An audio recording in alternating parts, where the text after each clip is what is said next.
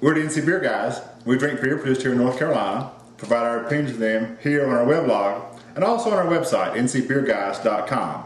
Remember, drink local and keep your beer dollars North Carolina.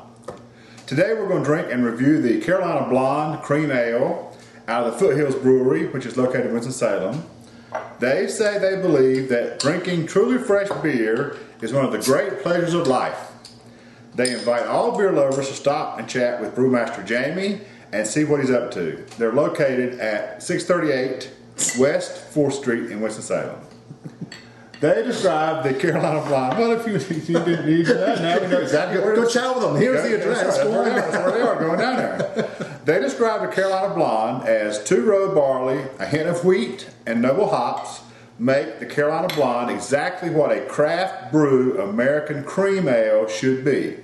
So this should be the standard bearer. Okay. Clean, refreshing flavor, rich golden color, and unmistakable smoothness. Brewed right here in North Carolina.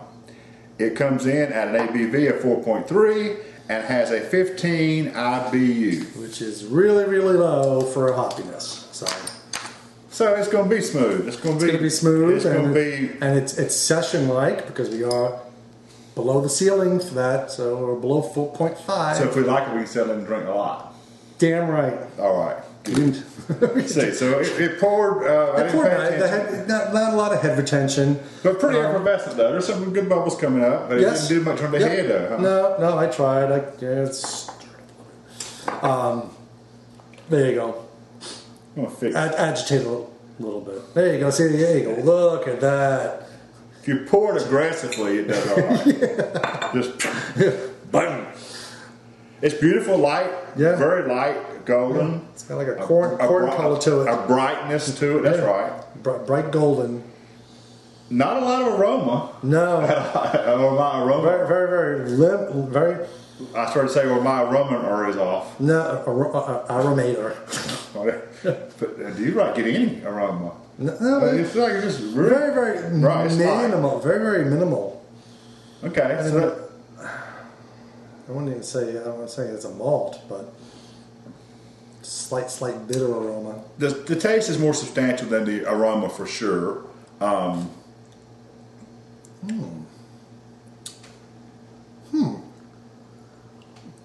Now remember they said clean, refreshing flavor, rich golden color, got the color right, unmistakable smoothness. It is well balanced. There's nothing that jumps out at you flavor wise as far as something strong on one end or the continuum or the other. No, no, I- I'm getting a, a slight, uh, I, I, not a hoppy bitter aftertaste, just a slight bitter aftertaste.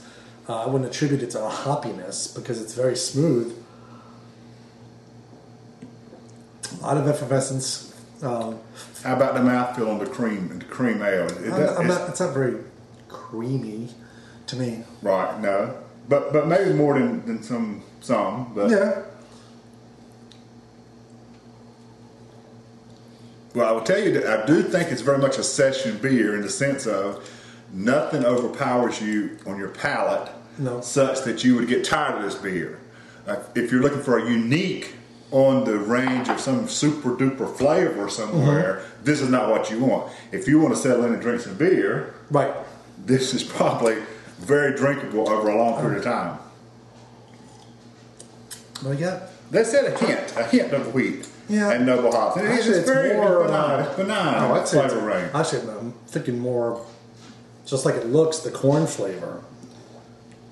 Mm-hmm. A very strong version of that, but not overwhelming. I mean, I- I guess for the beer because it is a cream ale. Right. Um, so I'm not seeing the creaminess. I'm getting And of course, you don't get the hop bitterness because it's not supposed to have hop bitterness. It right. doesn't. Right. It's, it's like the corniness. That's right. That's right. it's not That's at right. all. Uh, no, it's pleasant to drink. I think they've um, produced what they said they produced, and for that reason, I'd give it a bomber. Um, Yeah, it's good. Um, the flavor is mellow. Um, it's definitely a, ses- a session beer. Mm-hmm. You know, park it on the couch, open up a bottle or a few. Um, so I would give it a bomber because it's it's a pleasant, you know, a nice way to sit and chill with it. And how bad can something called a Carolina Blonde be? I mean, you know, with a lighthouse and everything on it. Depends on the Carolina, Carolina Blondes on the beach. Carolina Blonde. Take it to the beach.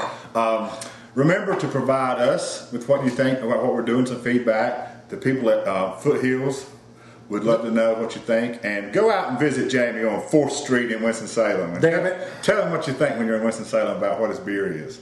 Uh, again, remember, drink local. Keep your beer dollars in North Carolina. And until next time, we'll catch you later, bud.